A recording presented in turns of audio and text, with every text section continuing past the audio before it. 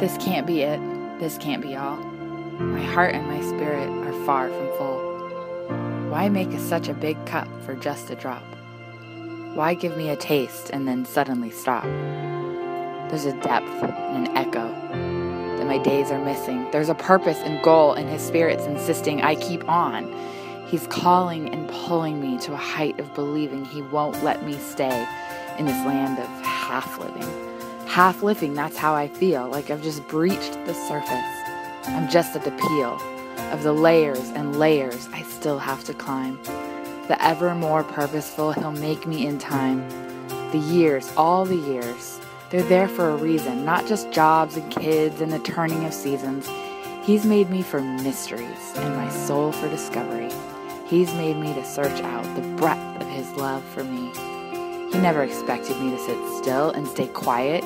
He gave me this stirring so I'd stay hungry and riot against the same old ways of stacking and sitting, content with the comfort of eating and living. What lies beneath these everyday chores? What's the higher pursuit my soul's longing for? The greater things I'm searching them out. That's the reason I'm here. They're what I can't live without.